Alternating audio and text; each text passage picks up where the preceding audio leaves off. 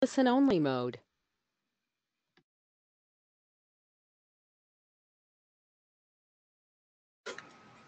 Good afternoon, everyone, and welcome to the Society of Wetland Scientists March webinar. My name is Bianca Wenzel, and I'm going to be your moderator today. The general format for today's webinar will be about a 40 minute presentation by our speaker, and then we'll have approximately 10 15 minutes for questions and announcements at the end. So make sure you get a chance to stay on if you have questions to ask or want to hear those answers.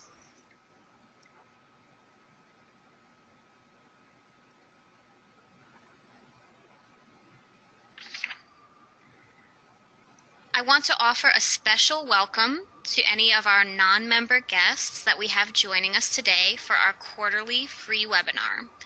All of our webinars are complimentary to SWS members, but once a quarter we open it up to the public. Our next free quarterly webinar will be held in June. Before we get started with the presentation today, I'd like to give all of our guests a quick overview of what the Society of Wetland Scientists is all about.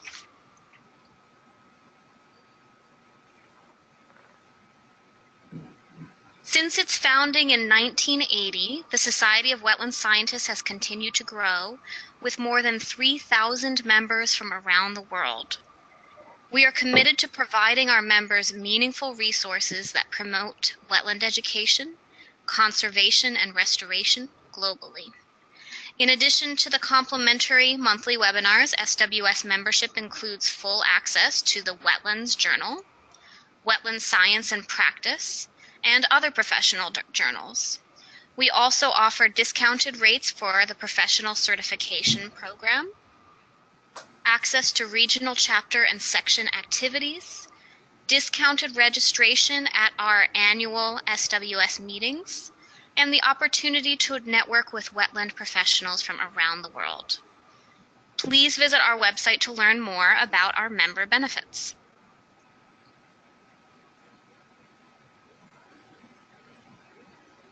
We are especially proud to announce that this webinar has been pre-approved by the SWS Professional Certification Program and is applicable for 0.06 continuing education credits that can be applied to your professional wetland scientist certification, application, or renewal. As a reminder, participation certificates are available upon request as well. Please contact SWS staff if you're interested. Certificates are also available for those who watch webinar recordings. All webinars are recorded and archived for complimentary viewing by members on our past webinars page.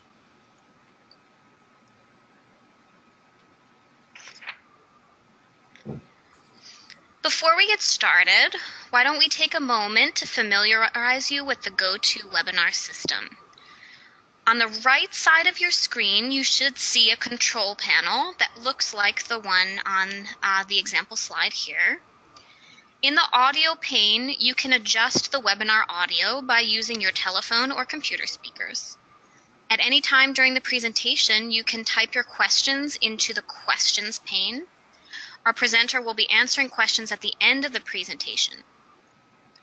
If you would like a copy of today's slides, please find a PDF copy in the handouts pane of the control panel. We also ask that you take a moment to complete the evaluation survey that will pop up at the end of the webinar. In addition, we encourage you to use the hashtag SWSwebinar on Twitter to tweet about today's webinar if you wish. Now let's just take a moment uh, to test the questions pane and at the same time, we'll be able to get some demographics by having everyone type the state or country that you are participating from. So just take a moment um, to type that into the questions panel.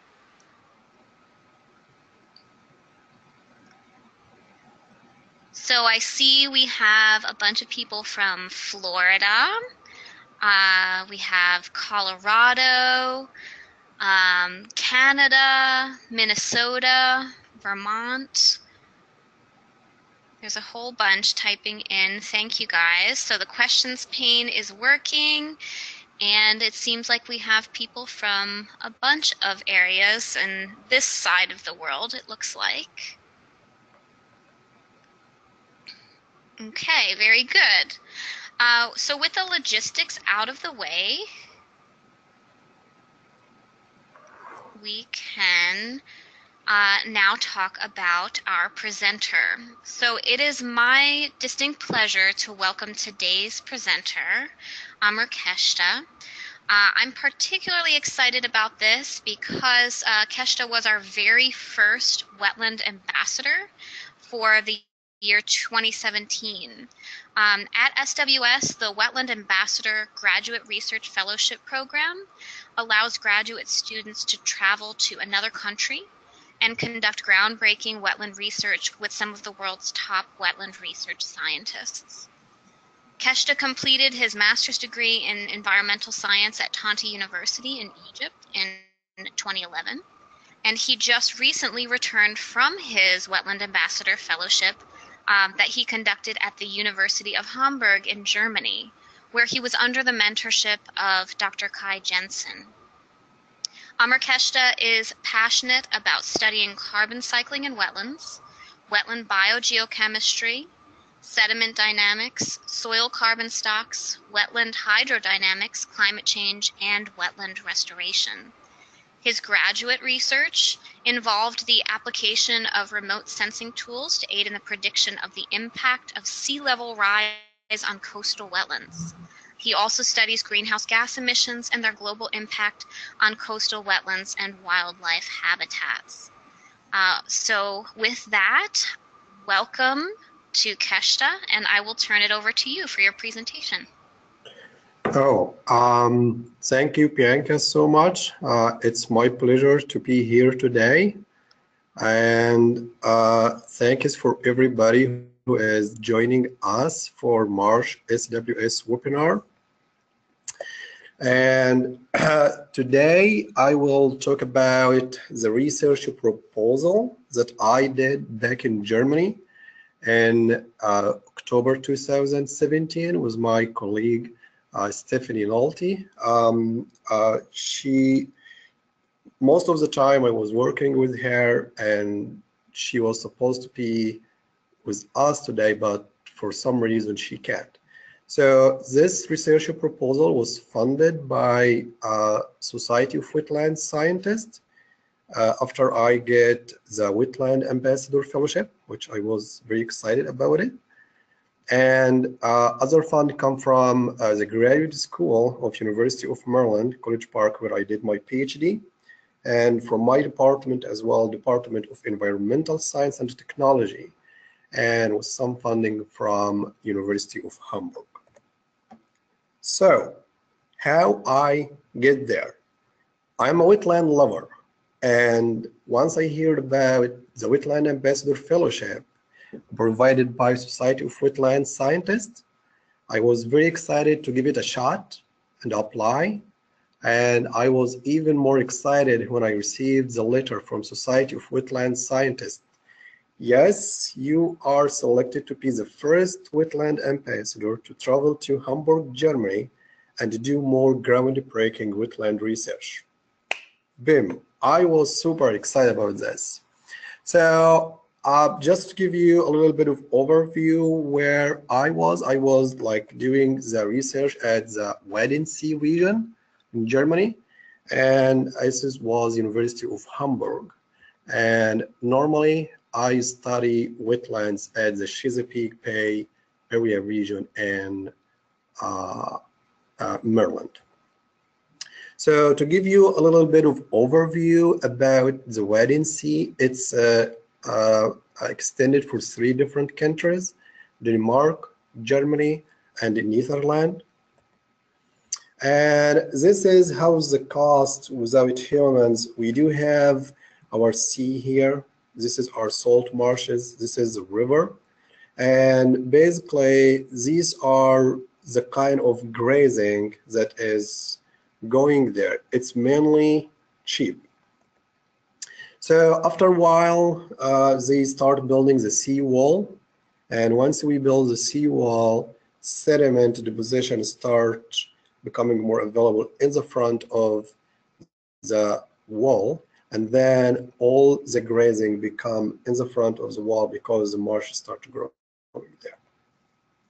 Then more human impacts are uh, growing up like agriculture, uh, building more houses. And then as a result for this, after building the seawall, uh, we do have subsidence and that result in this area become under the sea level, right? Under the sea level, where they need to pump out all the water in front of the seawall.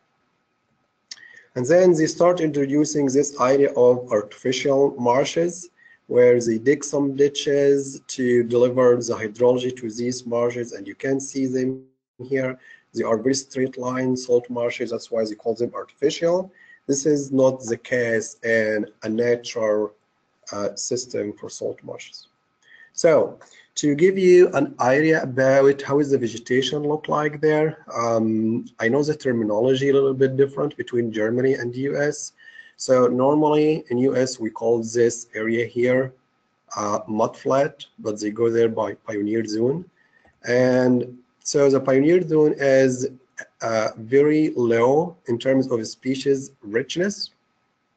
So we do have Salicornia and sometimes do have Spartina anglica and in terms of low marsh compared to the pioneer zone, it's even species rich because it has more species available like Puccinellia, Atriplex, Artemisia aster. So the species richness at the low marsh is higher compared to the pioneer zone. And then we come back to the high marsh area all the way up here where we have species richness less compared to the low marsh, where we have maybe only one plant species or two, and the most dominant was Elymus.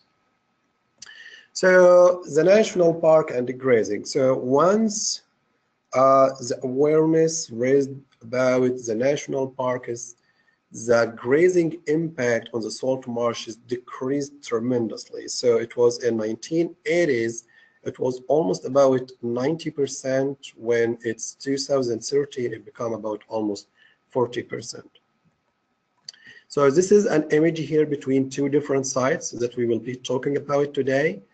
On your left side here this is the ungrazed marsh and on the right side this is the grazed marsh and what I need to point out here is that based on this study the number of species start to increase and come back to higher species richness by 2000. So with this background, we have two main research objectives. The first one is assessing the effect of grazing on soil structure and its influence on hydrology in salt marshes and quantifying the microbial activity as a proxy for the decomposition of organic matter. So we do have four hypotheses that we test. So soil at the grazed salt marshes would have higher soil bulk density with low carbon content or lower organic matter content compared to the ungrazed marsh. And also the grazed salt marshes will have shallower water level where the water will be very close to the soil surface compared to the ungrazed and also they will have lower porosity, more dense sediment, and poor connectivity. So while I was in Germany, I tried to learn German uh, to my best, and I tried to pronounce these two names. They are in German, so I just go by DSK and SNK. Sorry about that. So this is the SNK site and the DSK site. Both of them are in the coastal salt marshes of the Wadden Sea.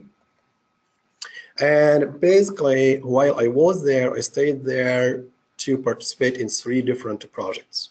The first one was the hydrology. Uh, we looked for water level, flooding frequency, rate of water drainage, and we did a CT scanning for some soil cores to look for water-filled pores versus air-filled pores, sediment density, porosity, and connectivity, and we did some uh, research about soil structure. We looked for soil bulk density, carbon content, moisture content. So for the hydrology project, um, so this project was going on since 2014 until I was there. So I wasn't uh, there while they deployed the wells and they do all the measurements. They did very good job there. So I just dealing with the data. Uh, so we look for water level for both sites was recorded every five minutes and they use um, uh, PVC wells where they are slotted as you can see him here and pressure sensors. So the data that I will be sharing you sharing with you today is just for year of 2016. So uh, here on our uh, in the y-axis we have the water table depths and this is the soil surface.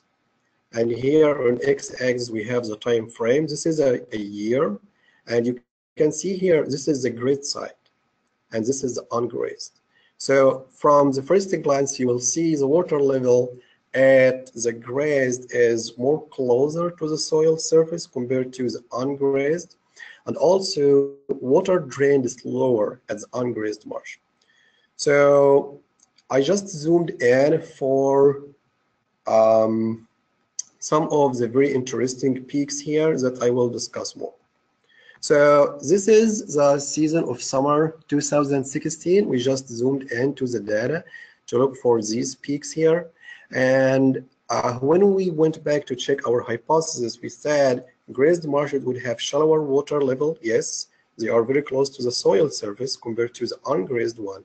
But it turns out that water drained slower at the ungrazed site. So if you look here or here or here, for example, these are the grazed water level.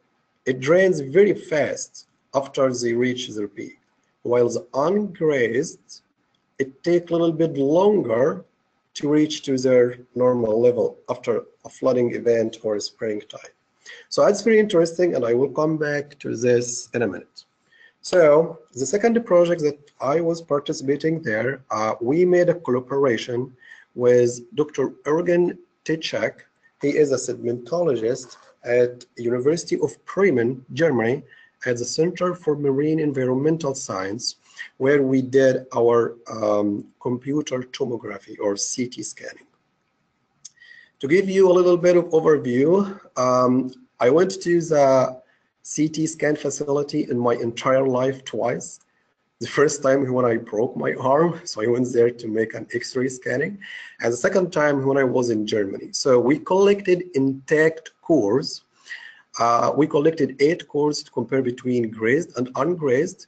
We bring them to the hospital. There is a CT scan facility, and these are my colleague is uh, Stephanie Nolte, and this is my colleague Jürgen Titschack, and these are the technician at the hospital at MARUM where we did the soil CT scanning.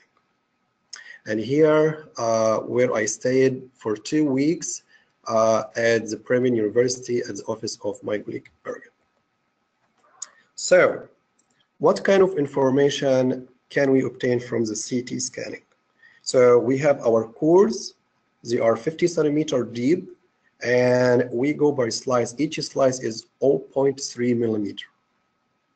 So I will walk you through this picture here, and I have a nice video for this too. So basically, this core here, this is column one.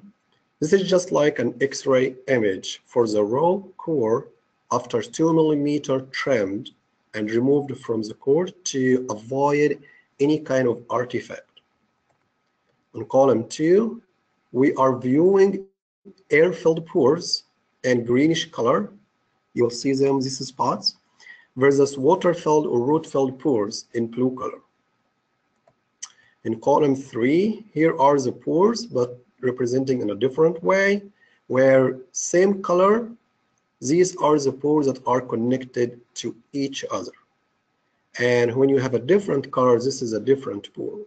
So basically, same color, they are connected pores, different color, they are disconnected pores.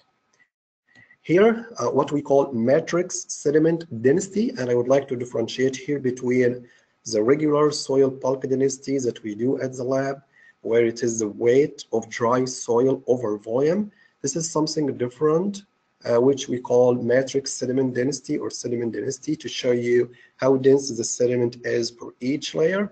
And you can see here, the more redder, the more dense the sediment is. This is the porosity, and these are calculated based on the pore volume relative to the volume of sediment and um, um, and supports. So the redder, higher porosity, and on the last column here, we are viewing the pores, but in a different way. These are the pores where the do represented diameter of each pore. So blue will be thin color, thin pore in terms of diameter, while the red will be pores with a thicker diameter. So how we did this, uh, I will show you uh, the video on how we did it. So basically, this is the core just after we scanned it from the CT scan facility. Then we took the two millimeter out to avoid any kind of artifact.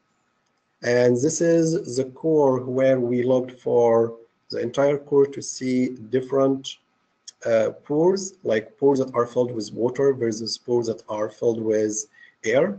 And then these are the sediment density. You can see the layers with the red color. This is dense sediment. This is porosity, as a red color is more or higher porosity. And then these are the core in a 3D dimension while we are rotating it and create a center line to measure the diameter of each pore. And you can see here all the pores that have the same color will be connected pore and the pores that has different color will be disconnected pores. Go back to our presentation here. Um, some data about the CT scanning. So we do have two different treatment, grazed marshes and ungrazed marshes. And to show you how they look like here, so on the top side from the screen, this is the grazed marsh. And on the lower side, this is ungrazed marsh.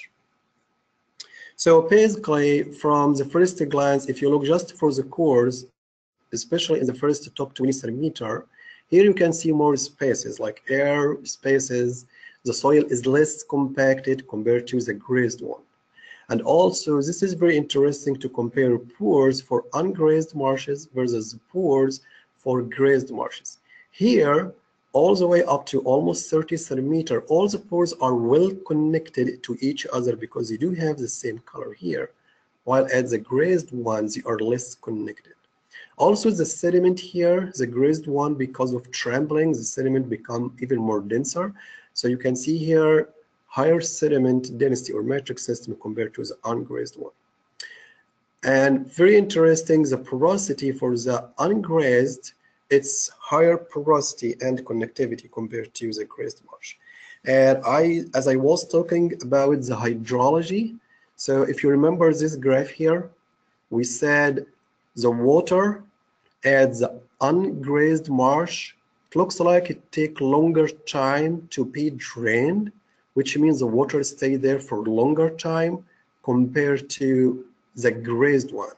And this might be related to how the pores are connected together. In the ungrazed one, we do have the pores connected well together up to 30 centimeter, where at the grazed one, the pores are disconnected. So in terms of matrix sediment density, and again, I would like to differentiate here between the sediment density that we got from the soil CT scanning versus the regular soil bulk density. So the regular soil bulk density, you will have the units by gram per each cubic centimeter, for example. But here we have a Hounsfield unit. This is from the X-ray. So here, if we look for the, the salt marshes that is grazed versus the ungrazed, you can clearly see the grazed one has higher sediment layers compared to the ungrazed one. In terms of porosity, the ungrazed, especially at the first 20 or 15 centimeter, the ungrazed have higher porosity compared to the grazed one. And you can see here clearly the porosity is like the more redder, the higher porosity it is. Here we are looking for connectivity, and here we are representing connectivity as number of disconnected pore per slice. So basically here you will have in the first top 15 centimeter or 20 centimeter, the number of disconnected pores at the grazed one is higher compared to the ungrazed, which means ungrazed, all the pores are well connected, so they retain water for longer time, and we did see this in the hydrology. So here, uh, I'm only viewing the ungrazed marsh, where we differentiate between the pores that are filled with air versus the pores that are filled with water and the sediment. So this is just volume per each slice. And here the sediment will be way higher, but the air-filled pores will be only peaking at the top five centimeter and then it goes down and then most of the water-filled pores will be in this range.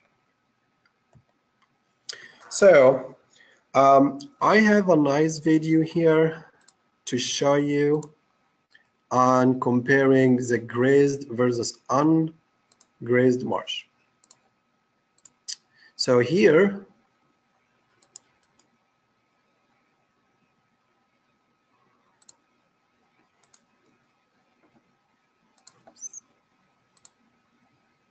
so here you are looking for two different cores. This one here on your right, this is the grazed, and you can see it is dense compared to the ungrazed one. Here we are looking for porosity. The, uh, this one and this one here, here is these are the pores.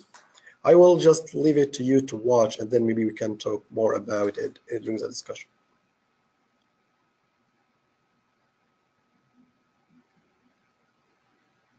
These are the boards here. They are very well connected in the ungrazed marsh compared to the grazed marsh.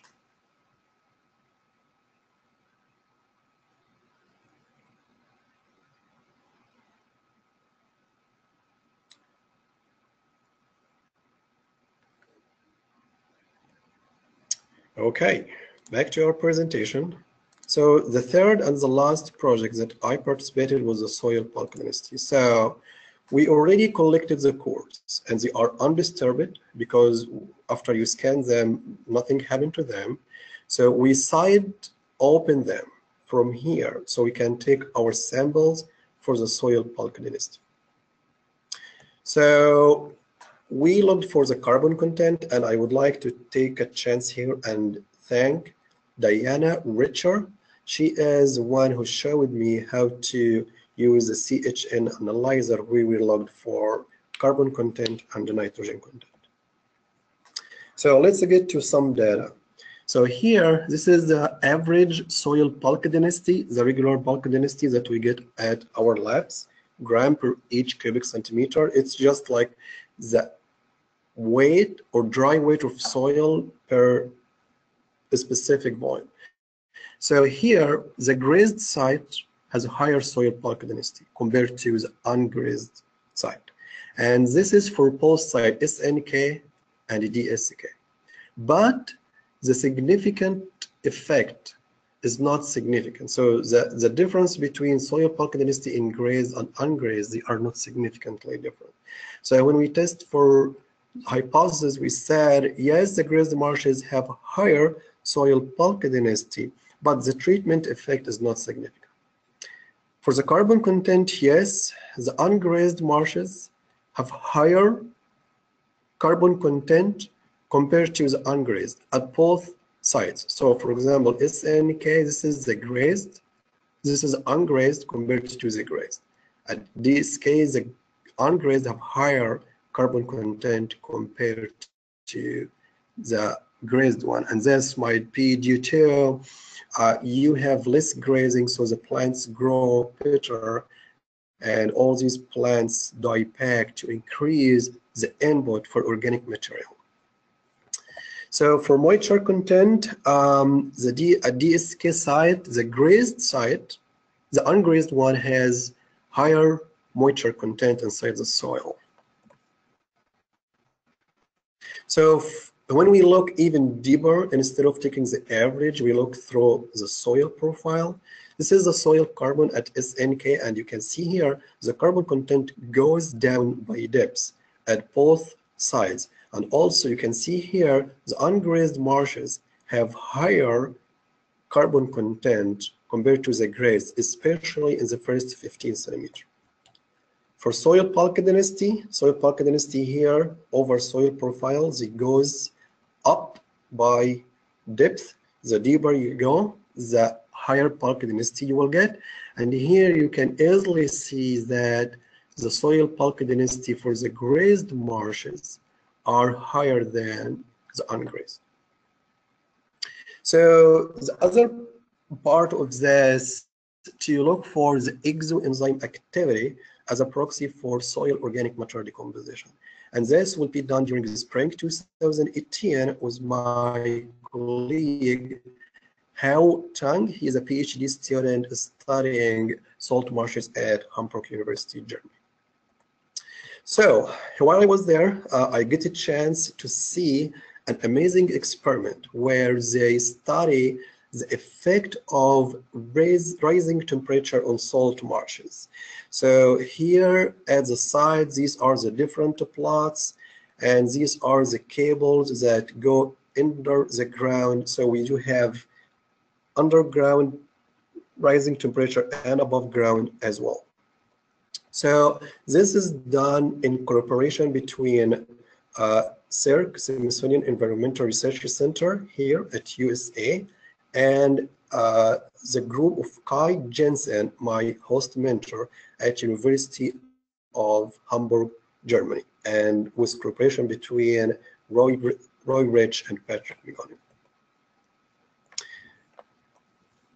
And please, if you need more information uh, about uh, site history and the history of salt marshes at the Wadden Sea, you can look for this report.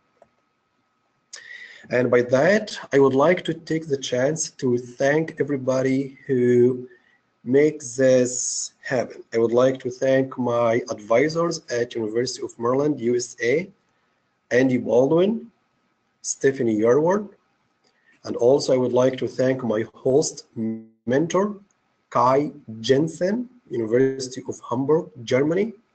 I would like to thank Stephanie Nolte I already missed her during this presentation.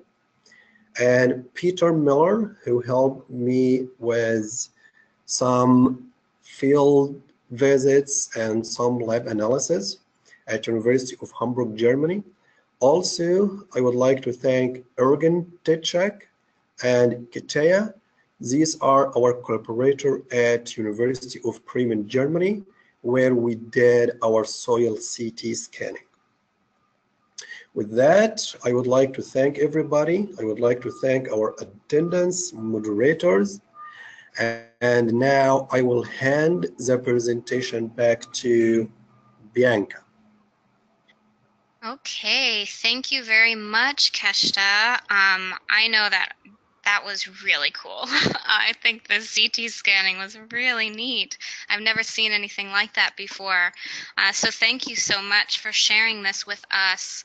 Uh, and now we can take some time to get to the questions and answer session. Um, so if you have any questions, please type them into the question pane and I will read your questions that I have received to Keshta directly. Um, if you forget to ask a question or if you have to leave before we finish, you can email Keshta directly at the email address listed on the slide here. Um, so please take a moment to think of any questions that you might like to ask Keshta, and you can type those into the question pane, and we can get started.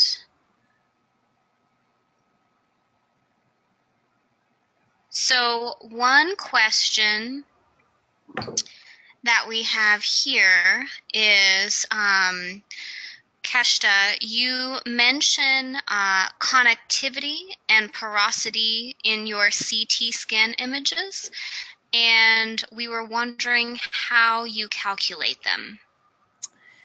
Yes, uh, let me pull out the slide here so it will make way easier.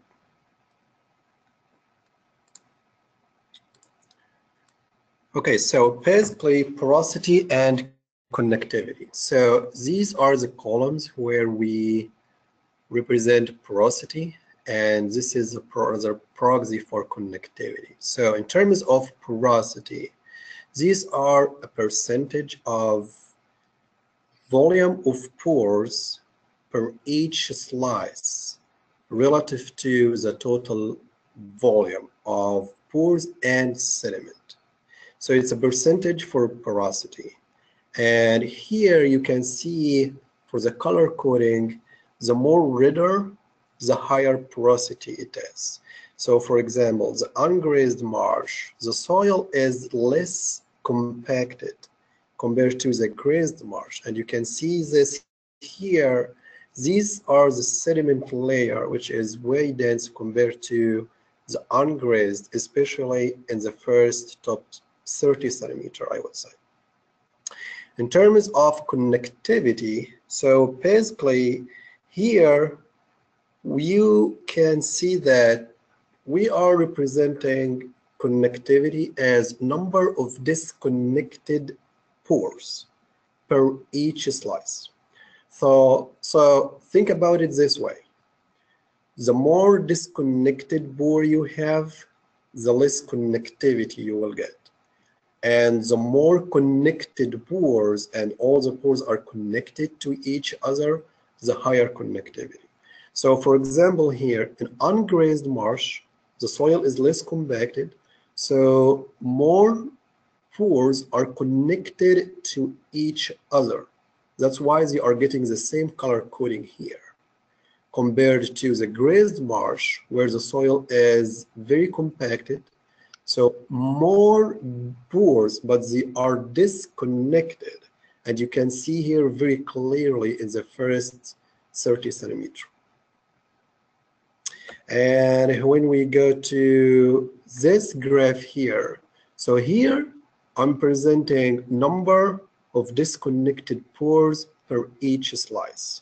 So the grazed marshes, because the soil is compacted, you do have a lot of disconnected pores here, and they do have different color coding. That's why they are too high here. Compared to the ungrazed marsh, where you do have a very well connected pores network and that gives you a higher connectivity. So the numbers of disconnected pores at the ungrazed one will be way lower compared to the grazed. And I think this will play a very important role in the pattern that we see at the hydrology here. This is ungrazed and this is the grazed. So the red one is the grazed, the water come back very quickly so it doesn't hold in the soil too much while the water at the ungrazed side it does take a little bit longer to come back to their normal average okay thank you Keshta um, the next question that we have is from lynn cudlip and she's asking, can you describe the intensity and frequency of grazing at each of the sites? Uh, okay. Uh, for this, I will do my best. If I remember correctly, so they do have um, uh, grazing plans where they do have some sites they allow the sheep. So the grazing mainly sheep. So they allow the the the achieve for specific time frame like five years and then they switch between other sites. And if you need more information I would refer to slide number 49 you will find here even more information about how frequent it is and the management plan for letting sheep go grazing versus ungrazing. Okay. Um, we have another question about grazing also, which may have a similar answer from James Robertson, and that is about the timeline. So, what was the timeline for grazing with relation to the experiment itself? So, for this, um, so the grazing at this site, once the idea of establishing the national park back in 1980s, the grazing impact decreased tremendously in 1980s to nowadays. So since the 1980s, the grazing went down from almost 90% to 40%, so it's almost half percent down. And here in this figure, you can see uh, starting from 2000, the number of species richness or the species richness starts to coming back again around 2000. Okay, thank you. Um, the next question we have is um, for your hydrology data specifically, um, you show that ungrazed marshes, they retain water for a longer period of time compared to the grazed. How does that relate to the connectivity in pore spaces? Yes, that's a very good question. So basically, here we did our hypothesis saying because the grazed will be very compacted, so the water will be retained longer. But in fact, when we look for our hydrology, if you look here, yes, the water level at the grazed site is shallower compared to the ungrazed, but the time that, so let's say this is a storm event or a spring tide event. So basically, the time the water will take to come back to their normal average is way longer compared to the time that water will take at the grazed marsh. So when we look for this and comparing this to the connectivity figure, so here, as I said, in column three and column six. Here we are viewing the pores that are connected together. So the pores that are connected, they get the same color as I said, and if they are disconnected, they get different color.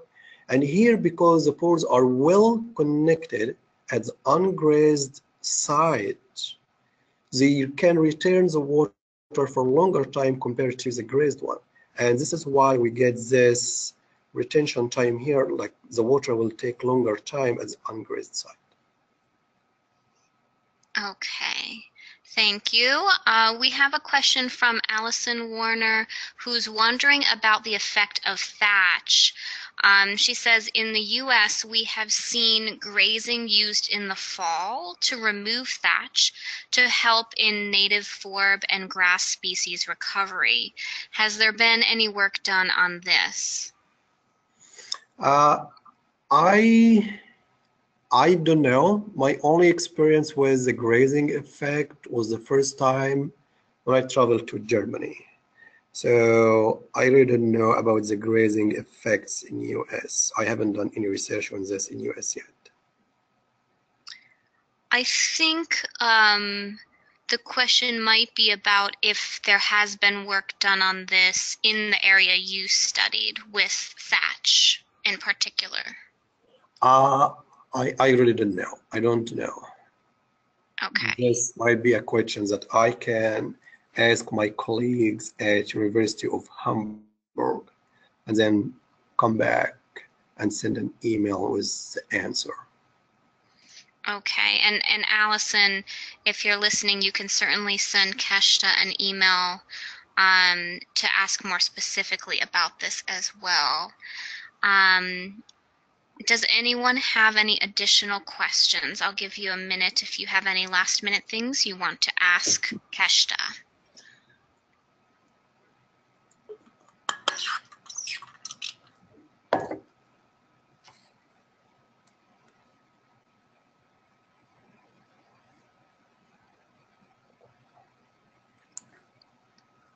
Okay, I think that is all the questions. So if, um, Keshta, if there was anything else you wanted to add, uh, you certainly can do that. Otherwise, we can go to um, the next webinar slide.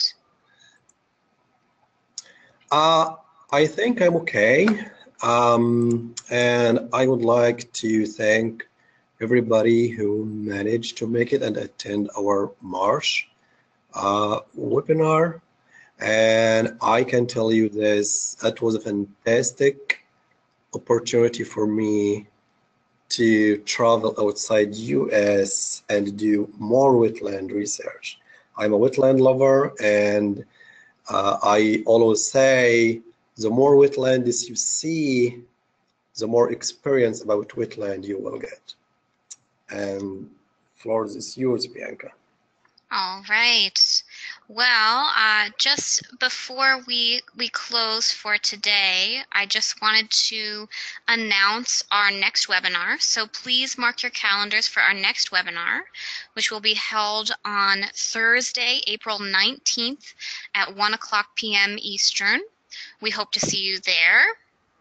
We're always looking for future webinar presenters and topics. So if any of you in the audience are interested in presenting an SWS webinar, or if you have a topic of interest you would like to see us cover, please indicate this in the evaluation survey you will receive after the conclusion of the webinar, or contact SWS headquarters. And um, a little announcement. Registration for our 2018 annual meeting is now open. Please join us if you can from May 29th to June 1st, 2018 in Denver, Colorado. Um, there's also still some time to submit your children's artwork to our SWS Youth Art Contest. We'll be accepting art until April 2nd, and you can learn more about this submission process at sws.org. So with that, thank you so much, Keshta, for taking time out of your schedule to present an SWS webinar. Thank you for being our very first Wetland Ambassador. And thanks also to our audience for attending today. We hope you can all join us for our upcoming webinar next month. Thanks, everyone. Have a good day.